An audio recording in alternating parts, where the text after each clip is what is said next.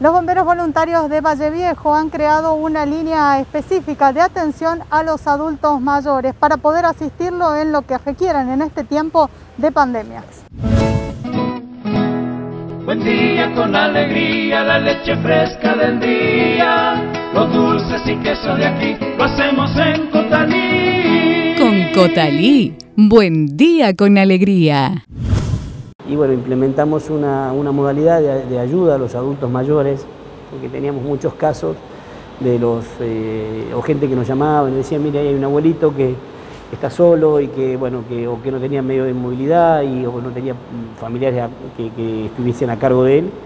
Así que bueno, implementamos una línea eh, específica para que la gente pueda llamar eh, y bueno, destinamos también cuatro bomberos que están, digamos, eh, especializados en el manejo de adultos mayores, trabajan en algunos geriátricos, otros son acompañantes terapéuticos, para ir a ayudarlos, a asistirlos, eh, a los que por ahí necesitan desde la compra de un medicamento o gestionarle la vacuna ahora de la gripe, así que bueno, es un trabajo que también nos demanda un tiempo, pero una alegría tremenda porque los, son digamos, los abuelitos que, eh, son los más indefensos en, todo esto, porque en algunos casos eh, han quedado casi fuera del sistema. Así que bueno, ahí también estamos trabajando con ellos. ¿Esta línea ya está en funcionamiento? Sí, sí, sí, la línea ya está en funcionamiento, es una línea de WhatsApp, donde nos pueden, aquellas personas que sepan que hay un adulto mayor en riesgo o que tiene algún tipo de complicación y que por ahí no tiene quien lo asista, eh, no nos puede llamar y, te la paso el número que es 3834 40 8902. 40 8902. Nos, nos envía un WhatsApp ahí y con la dirección de la persona y bueno, vamos, vamos con el cuartel eh, y empezamos la charla con el abuelo a ver qué es lo que necesita. ¿no? Alfredo, ¿ya han empezado eh, las consultas? ¿Cuáles han sido los requerimientos que han tenido?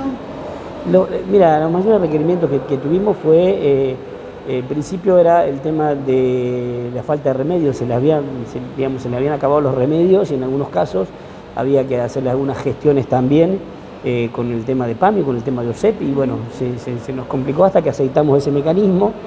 Eh, y después, bueno, sí coordinamos tanto con gente aquí de, Capital como en el caso de Valle Viejo, eh, para que fueran a vacunar a domicilio. Le agradecemos infinitamente a, los responsables del tema de vacunación, porque cuando le pasamos el, domicilio o el lugar, en lugar de tener que sacarlo al viejito de su casa y llevarlo hasta el vacunatorio, ellos mismos se apersonaban y lo vacunaban ahí en el hogar.